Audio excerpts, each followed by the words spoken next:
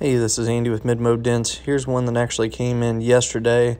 Customer brought it in. They didn't want to actually take it to the body shop. Just wanted to make it the best that they could uh, without spending the money to repaint it. So we was able to actually take the dents out, wet sand and buff most of those scratches, then touch up what's left.